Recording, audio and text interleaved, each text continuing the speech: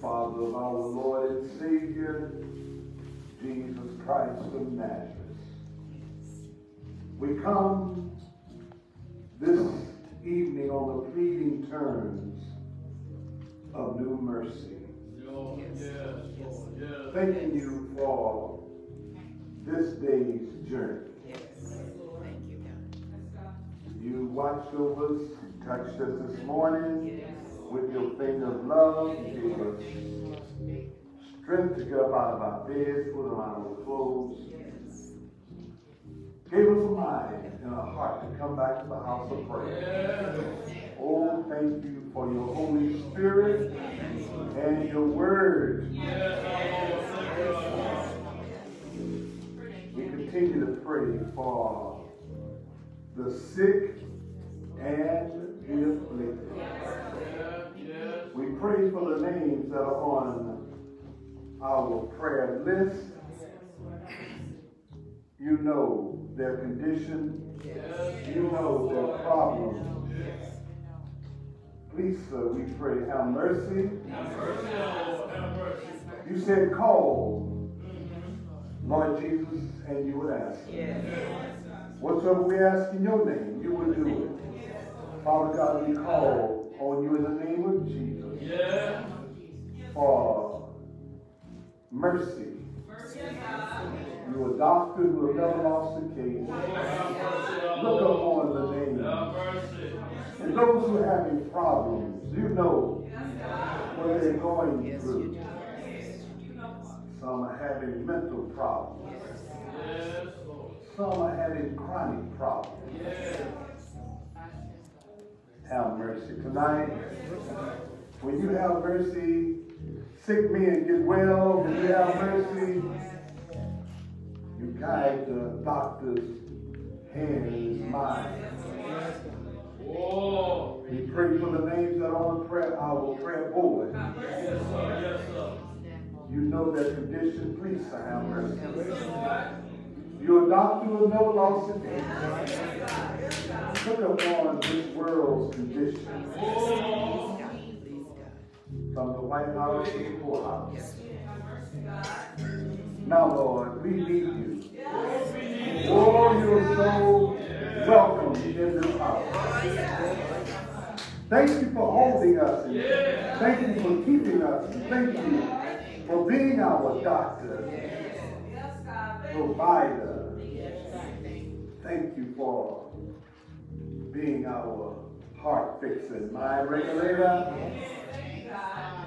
Thank you for being our economist. Oh, you, you fix things for us. And we certainly uh, pay our bills. You, you step in. You interceded. We come saying, thank you, sir. Didn't have anybody to talk to, you became our companion. Oh, bless your name, bless your name. Thank you for being God in our life. Thank you for being King in our life. Thank you for being our Messiah and our Savior. You called us out of darkness into your marvelous light. Where would we be without you, Lord? We pray for the neighborhood. Touch the hearts before it's everlasting too late. Look upon that boy, that girl, that man, that woman who's walking the street, don't know you're a part of their sin. Look upon every pastor who's standing in John's shoes. We pray this prayer. And when this life journey comes to an end, we, like others, must quit this warfare.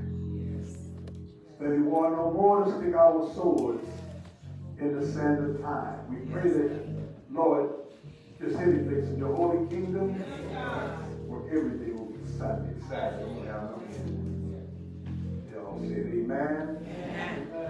Amen. Amen. I just gave up everything to follow him.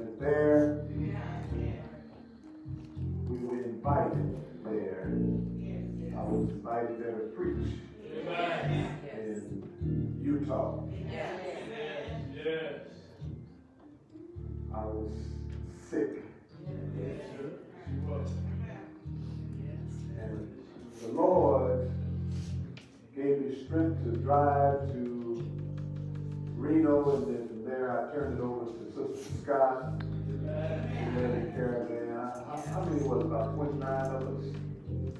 29, 30, 40. Uh, we were there, and all we were there a week. Yes. Yes. Yes. We went to the Mormon temple, and every day we was scheduled. They had a schedule on a tour. It was so accommodating, but I was still sick. I struggled every morning to put on my one leg and one man's leg and another leg, and, and I was just sick. Sister Scott was attending to me. I was perspiring all the night. My side of the bed was like a swimming pool. I had this, I guess it was a fever, a tremendous fever that I had.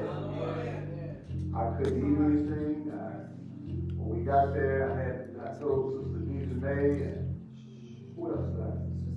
Sister Carolyn, Sister Dejanay, you pass out the keys and, and I tried to go to the room. I was trying to key in the, in the, uh, in the keyhole and I was just shaking. Got in there and fell across the bed. I believe I called for Sister Marcy, didn't I? I called for her. What did I call for her for? Massage me or something. I don't know. I was somewhat in a delirious, delirious, delirious state. And I tried to stay hydrated. I was just sweating. But one thing I, I, I kept in mind that I knew, I said to myself, I know you're coming. I know you're coming. That Monday night, I was still in a bad situation. We went to the Mormon temple that, that uh, Monday went back that Tuesday. And I was having these, as Joe was saying, these nights, I was having those nights going through this excruciating period. And I was just perspiring. She was up changing my t-shirts. And and I was just sweating. I was just perspiring continuously. And I would get up, got up that Wednesday, kept saying, Lord, I know you're coming. Yes. So we went on, and while you were touring, I believe you went, they fed you all. Was it delicious? Just delicious food there. While I sat down in the lobby because I had no appetite. And uh, the gentleman was so kind, he brought me some soup. And while sitting there, had the soup in my hand, the styrofoam, I was so, I just dozed, I just went to sleep, mashed that styrofoam and that soup went everywhere. I was so, uh, I was so not feeling good because it was all over the place. No, don't worry about that. They cleaned it up. And, uh, but I kept saying, I know you're coming. And I had no appetite. I couldn't stand food, smell, even smell. I have the smell of food. So that Saturday, I got up feeling a little better. All right, all right. Because my doctor, Yeah. I, I didn't take anything but my doctor. And I went down and played Monopoly with the members.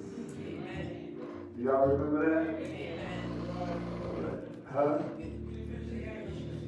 I, oh, I didn't give that to your one. Early that Sunday morning, got up, got dressed, and I say, uh, I tried to call Sister tried to call her, but she was uh, not, I wasn't able to reach her. I called Sister Alicia. I said, go over to and order me uh, uh, um, oatmeal, turkey bacon, orange, orange juice. It was all sudden I had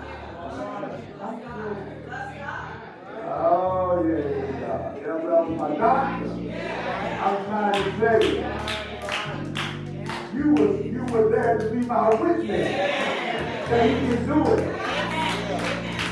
He can do it. That was not the first time. I told you for over two years. I was, I was constantly in pain. Oh. But I didn't give up praying. I didn't give up preaching. I didn't give up teaching. I was here.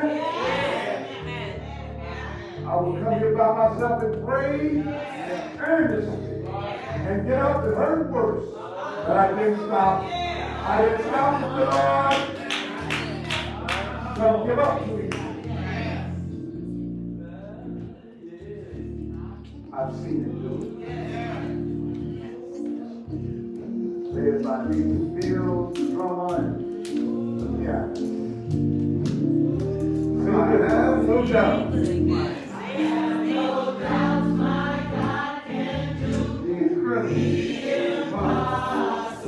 I know he can.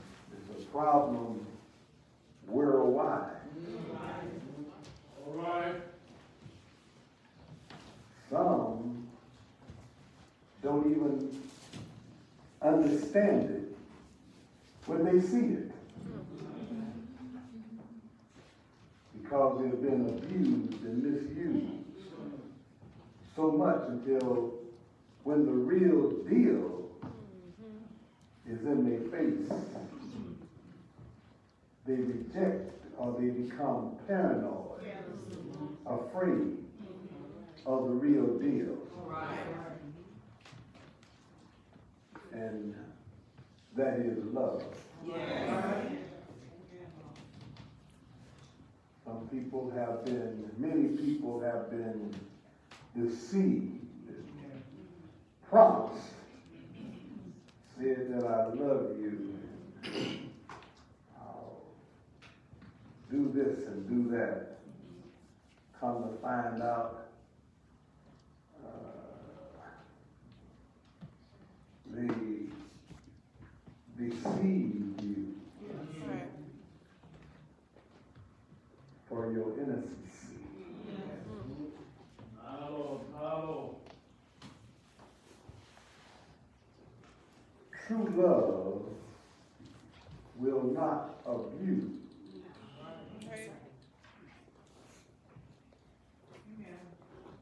True love is long suffering. Paul says it's charitable. Now, by faith, hope, and charity. These three. But the greatest is love in action. Charity.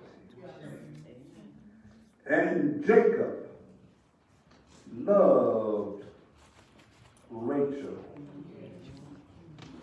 I'm reading from Genesis 29th chapter, verses 18 and 20. My late pastor preached this message. And I, I kind of little tweaked it there.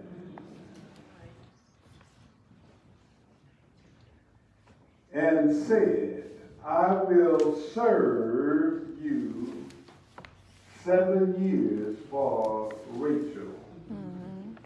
your younger daughter.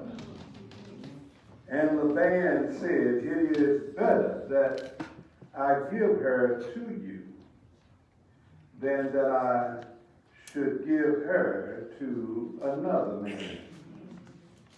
Now, marriages were arranged in those days because the father looked out for his daughter. And he didn't want anybody to abuse him. But now women are so, young women, 14, 15, and, and you know that the home is not designed, I mean, the way it's being carried out now is not pleasing before God. We're in the lesson about letting the wife be subject. They, they probably tore that up. And, that's why they have so much problem in the home. Right. Women can't, they don't know how to love a man. And a man don't know how to love a woman. Because they're not doing it the Lord. And Laban said, It is better that I give her to you and that I should give her to another man. Abide with me. And Jacob served seven years for Rachel. And they seemed, seemed, seemed unto him but a few days for the love he had to her. When you, if he didn't love her, he sure would have a struggle on his hands. But the days went by so pleasing to uh, Jacob that it went by with ease. Now, if he just liked her, then he would probably change his mind. Love. An unusual love. You may be seated. My late pastor, Reverend Dr. Carl Anderson, preached this message and entitled this message as an unquote unusual love.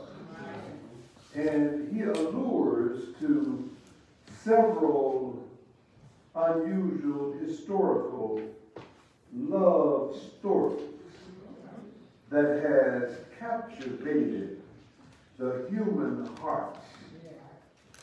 Case in point, General Mark Antony the politician and the queen of Egypt, Cleopatra. Uh, though uh, hosts, though both individuals live, uh, individuals live, lives, lives came to a tragic end.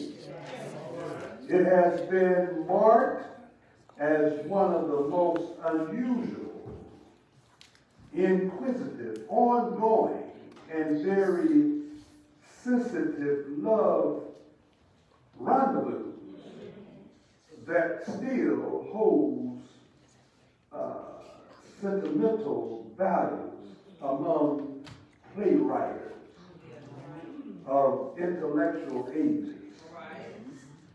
This unusual love story is studied in classrooms and I kind of tweak this now. All right. In classrooms from coast to coast about the priorities of what was most influential. Meaning was it, it politics or was it the passion of love? What ways heavier. Of course, the human side would say the emotional side would weigh heavier than the political side. But I question that. Did it really? The unusual love affair was intertwined with political overtures, meaning an introduction to something more substantial, something undergirding, which was on both sides, meaning on Mark Antony's side in Rome and on Queen Cleopatra's side in Egypt, which caused great political conflicts. yeah, this is what, it, it reminds me, this story reminds me of King Solomon, how he tried to unite the world by marrying foreign women, which God told him not to do. And this was, uh, he arranged these marriages to unite politically. Yet, no doubt, he had some emotion within it, but uh, even though they were married in 40 BC for the purpose that brought Egypt under Rome's control, Rome did not accept their marriage. But in Egypt, their marriage was accepted. History points Cleopatra as being extremely seductive, which captivated General uh, politician Mark Antony, who crumbled to his knees in the political arena. And eventually, the end came for Cleopatra in suicide. And you still have the Mark Antony's and the Cleopatras of today. Seducing men to get their money so that they can go shopping. Set them up in an apartment. I understand even in college now you have uh, uh, call students to pay their bills. All Cleopatras and Mark Antony's are not dead. But she was raised talking about Cleopatra, she was raised to be politically seductive. Because at the age of 11, she was given in marriage to her younger half brother, Ptolemy, for apparently religious and political reasons, in which history states that he drowned, probably fighting in a war. Then she was given in marriage to her next younger half brother for religious and political reasons, which he mysteriously died according to history of a disease. Oh, some of them are dangerous, aren't? Where it is, you don't be luck around long.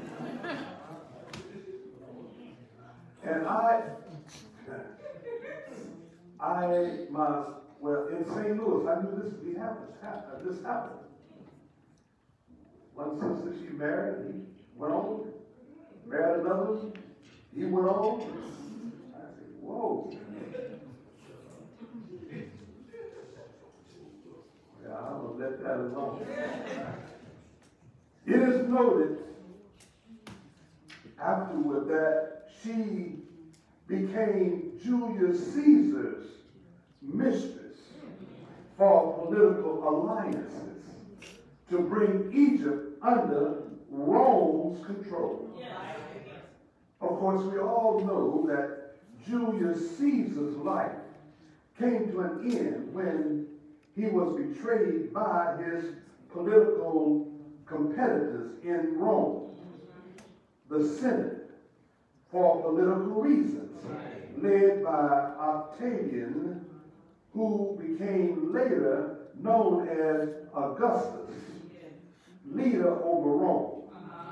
Standing in the wings next to Julius Caesar was general and political uh, and his closest ally and friend was Mark Antony, who seems like he took up the drum beat of Julius Caesar, his friend politically, and loved wise to bring about a, uh, uh, uh, democratic and republic Rome.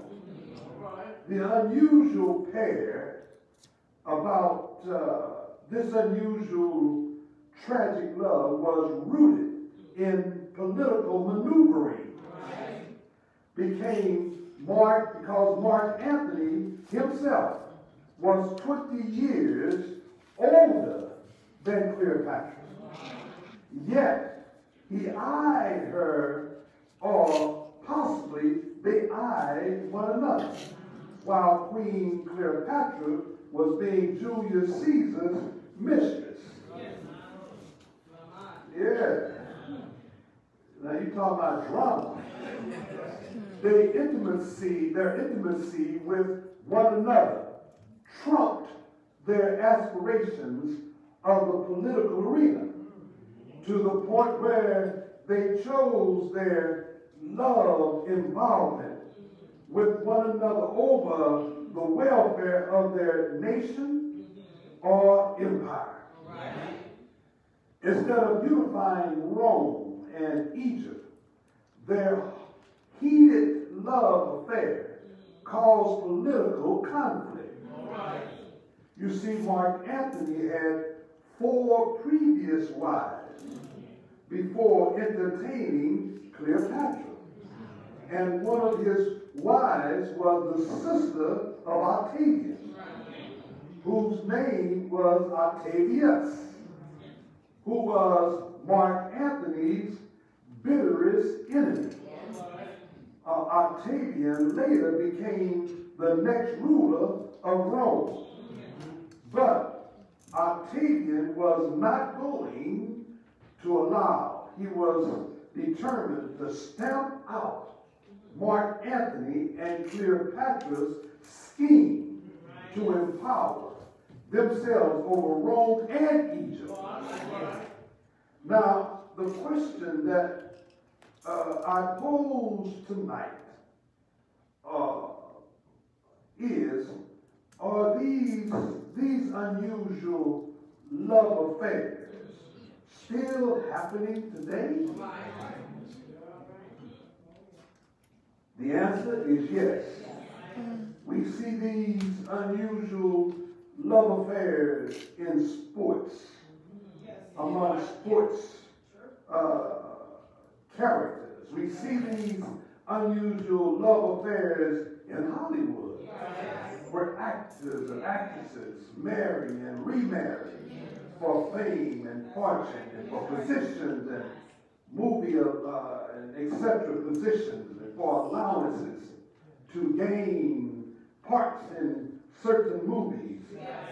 We, we have seen this among sports stars, how some of our professional baseball and football and golf and basketball and etc. Uh, sports stars have intermarried relationships. And we go on and on and on. And we wonder why. Why? People marry when they want to marry. It, it, it, it seems like history repeats itself.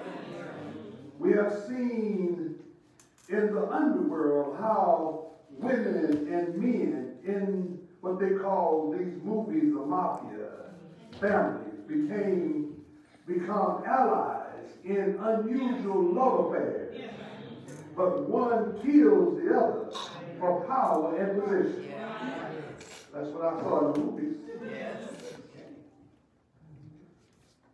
Uh, my late pastor, uh, Reverend Dr. C.J. Anderson, listed three ongoing reasons for unusual love, which he uh, mentioned possessive, contemplative, and benevolent.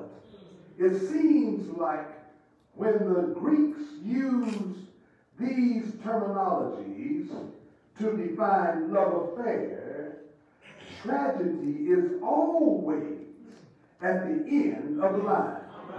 Because without agape love, Hesed, H-E-S-E-D, Hesed love, and I'm tweaking some of this, it will always come to a tragic end. An end, and uh, sometimes a triangular tragic end. let's turn our attention to Jacob and Rachel just for a few minutes here, and I'll go back with these same elements of being possessive, contemplative, and benevolent. Their love is unusual, even though it had become uh, non political, because God was setting this up. God set their love up because he had a plan. See, God's plan trumps all of ours. Amen. Amen.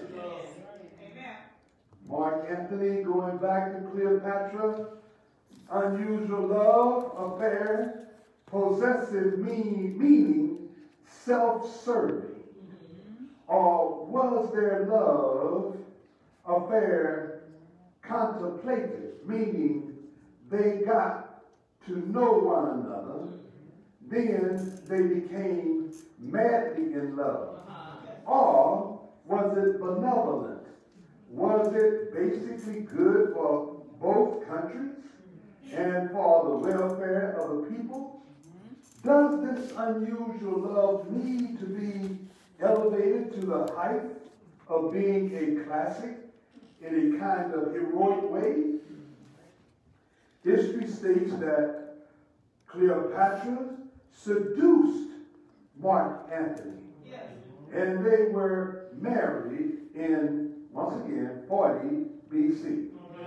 The flames of Cleopatra's seduction went much further in their intimate love affair.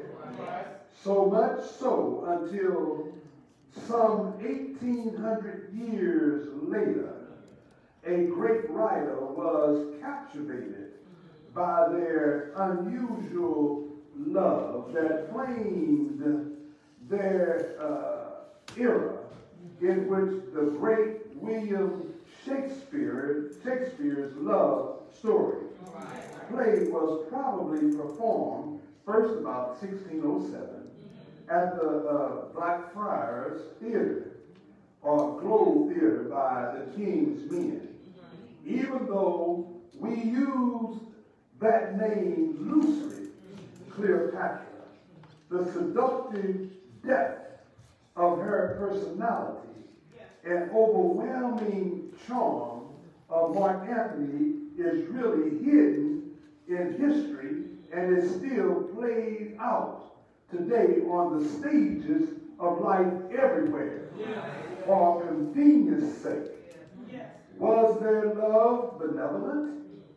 Where they were willing passionately to unite for the sake that Egypt would not be pillaged and destroyed by Rome, and that Rome uh, would have a gateway to the higher cultures and, and mysteries of the Egyptians, uh, intellect of pyramids, of the arts and building structures and science and medicine, and exposed to writing and exposed to arts and the mysteries of medicine, or was, uh, or was it uh, contemplated where they had seen one another in courts when she was with Julius Caesar as being his mistress?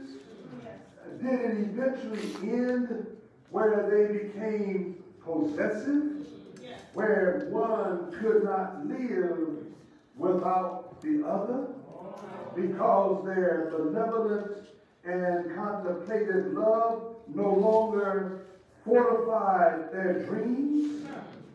From all indications, it appears that even though they were intimately involved, what overshadowed their love was the politics of failure. When they found out that Octavian, Augustus, was not going to allow Mark Antony and Cleopatra to become in control by manipulating Egypt and Rome under their unusual love seduction.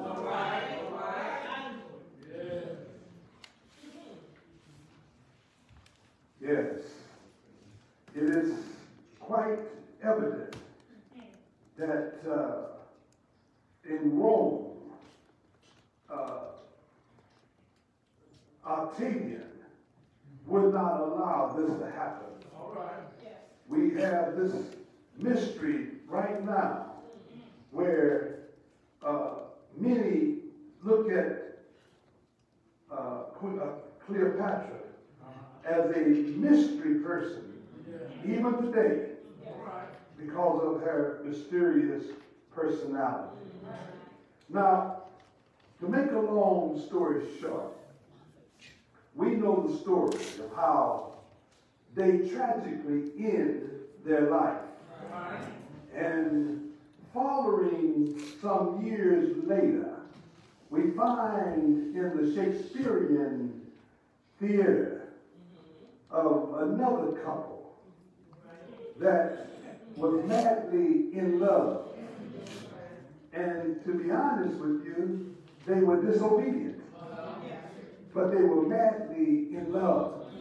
It's amazing how Hollywood played tragic up to be a classic when it's really detrimental to a what they call love. Because love does not end like that. Amen. Love does not end in suicide. Because when you got true love, I'm talking about the love of God, you don't commit suicide. Amen. When you have the right love, you don't seduce anybody.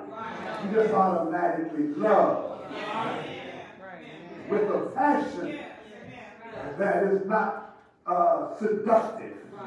You don't have to put on lipstick, powder, and paint.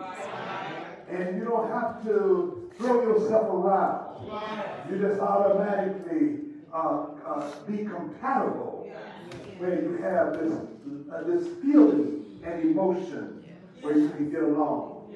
Now, it, it's, I'm coming to a close where uh, Rachel and Jacob. Jacob was not seduced by Rachel. It was just that God put love in his heart first. Amen. And they hit it off. To the point where God set this up. So many get married thinking they're in love, but they're really in lust. The, the, the love of God when He's guiding you will work out. Yes, it will. And you'll be productive in your relationship. Yeah, and you'll be compatible. And Jacob did not mind working seven more years for the one that he loved.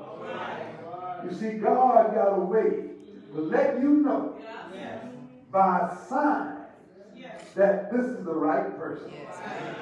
Uh, you see, some are too quick because they look and they say this is the one because of their shape. Uh, some uh, get carried away with the curly hair. Some get carried away with the smooth talk and the hip walk and the swinging of the, you know. Some get carried away. And they don't know what they're getting carried away with. Because when they get together, it's a whole different ship. It's not the ship of Zion either. While they find themselves down at the courtyard, in the line with everybody else for divorce papers.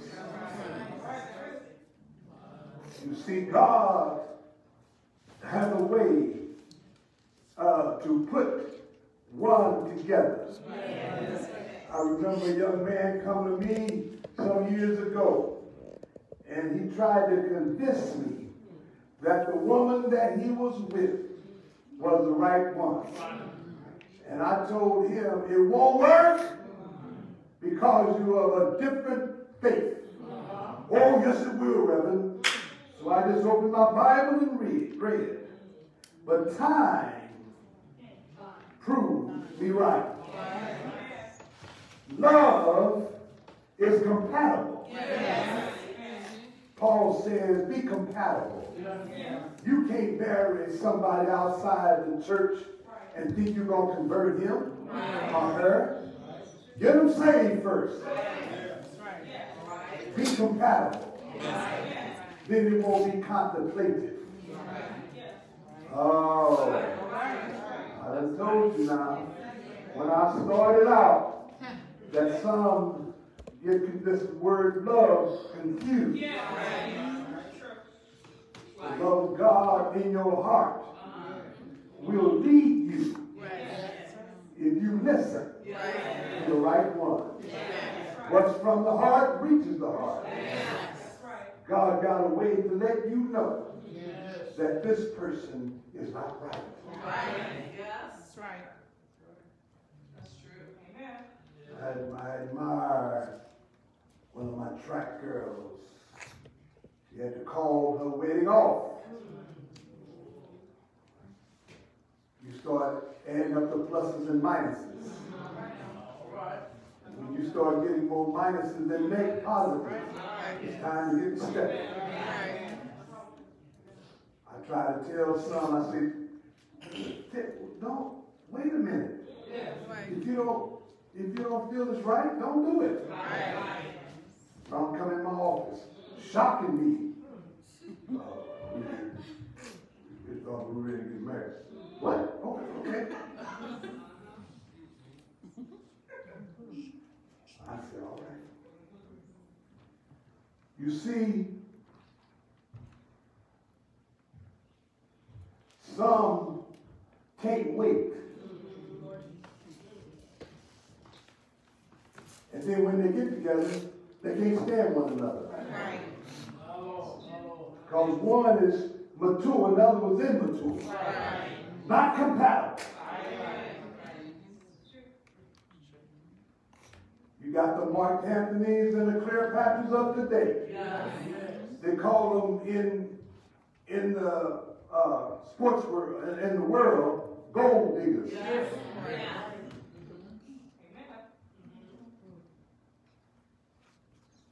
Can't have and they they they plan out they men that they have.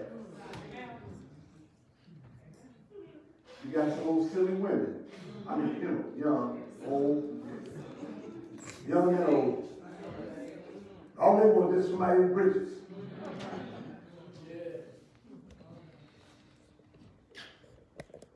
Wherever you done, you down. All they want is just somebody to talk to. I'm lonely. How I just need somebody to talk to. You got the greatest man with you. Well, I know I talk to Jesus all the time. I want somebody.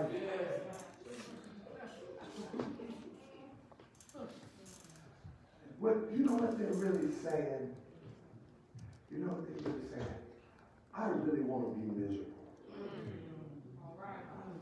I'm not satisfied being lonely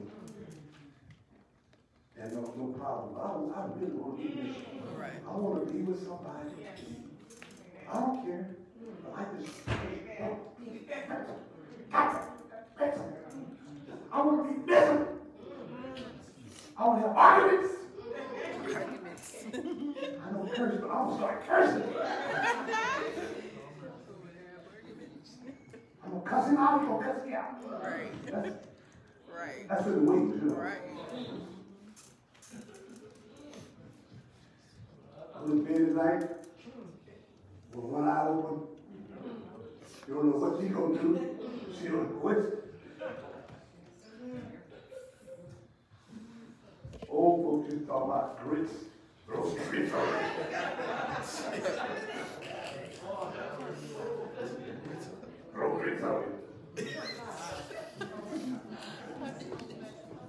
What kind of love is that?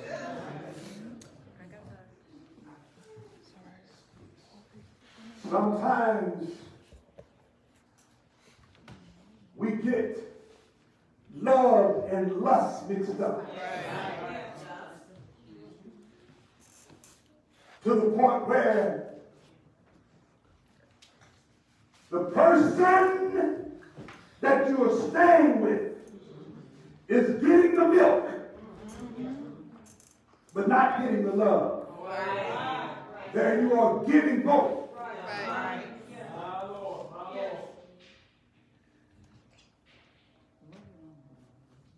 God is not pleased. God is not pleased.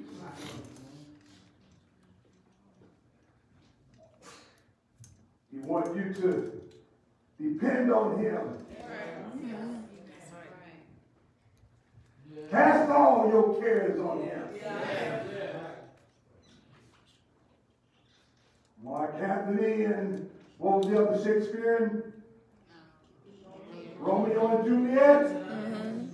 Marriages and love affairs ended in tragedy. Yes. And the world glorifies over that.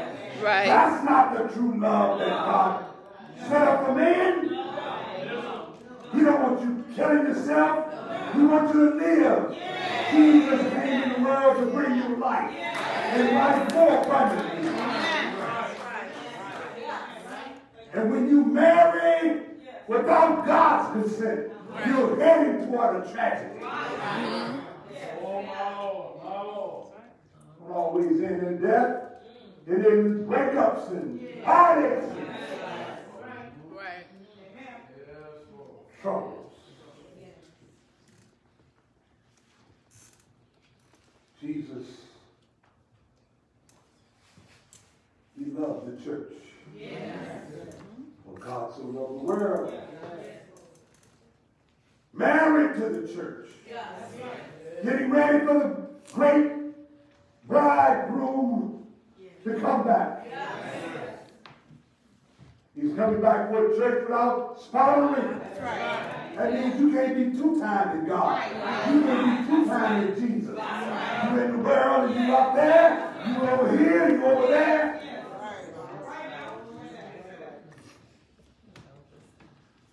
You be committing adultery. You playing around, going to parties, and you mess around out there in the world.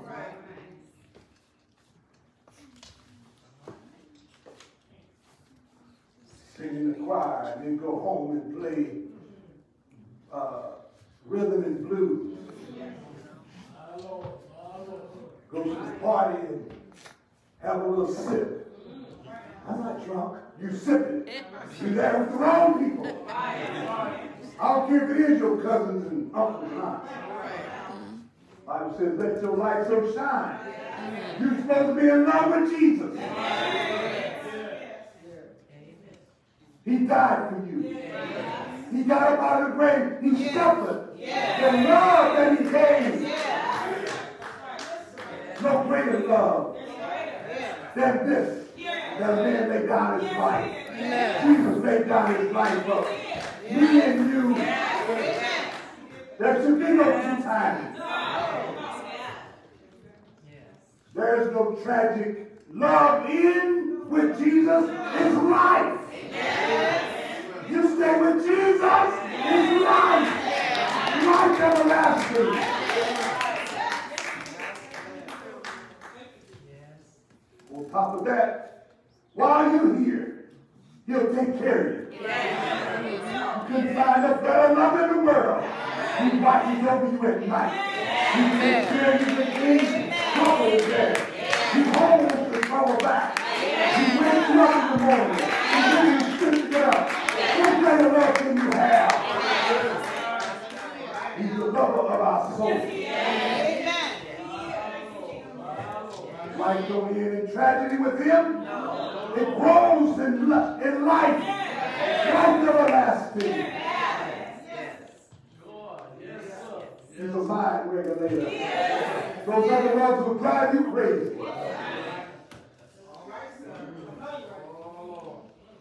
When the they're not even satisfied with themselves. They go in the mirror, they look, they look, and they they sit and stand, stand in the mirror, just criticize themselves. How stupid can you be? God gave you that nose. God made your eyes. God made your ears. Some don't even have those faculties. And then you are standing there criticizing what the lover of your soul gave you.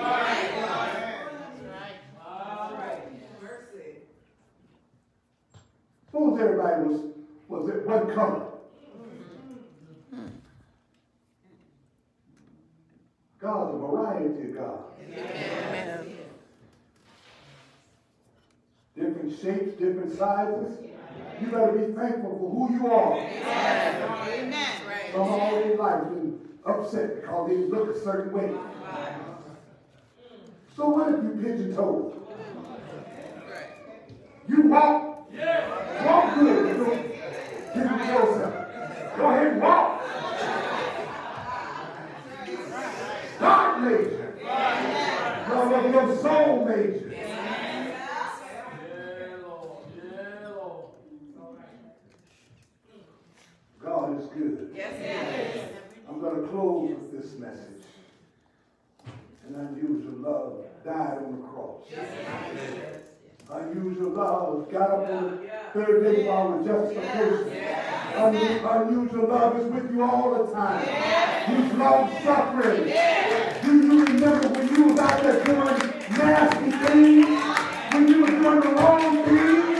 Unusual love suffered. He still loves you.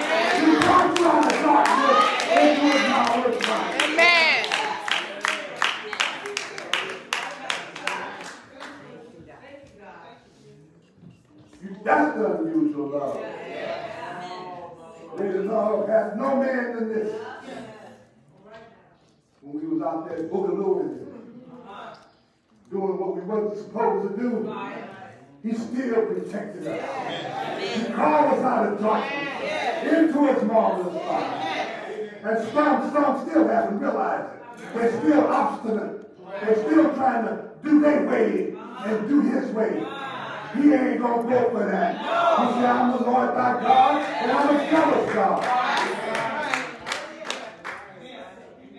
I will trust in the Lord.